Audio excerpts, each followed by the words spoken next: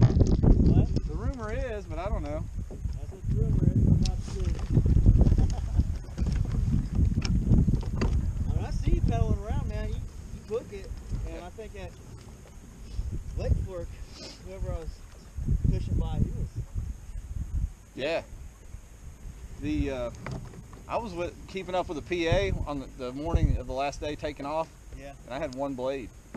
Really? We were just side by side. That's the one thing I need to get is an extra little front blade. Yeah. I had a problem yet.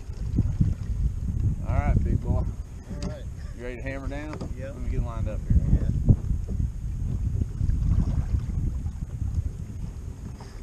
Oh yeah, I got this. Speed check. Speed check. Speed check. XL versus PDL. Alright. Ready?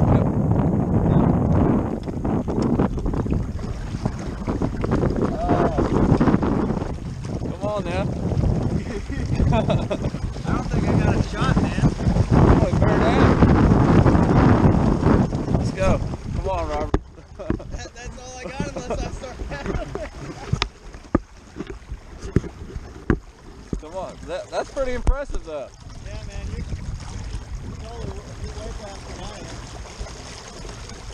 Tell you what, paddling this thing isn't, isn't bad at all. Yeah.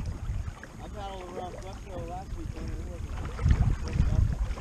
But I mean, if it was like a, if we were all taking off in the same spot and I like jump on this, man. I mean, it like throws a little there. Isn't that crazy though? It'll get you, it'll get you tired though. I like how that cruises. Look at that. Woo. Dude, I need to get me one of those. Little speed check with the PDL and the Minn Kota uh, XL with the Minn Kota, and we uh, it was smooth. The Minn Kota's cruises, but the PDL jumped out and stayed ahead of it the whole time.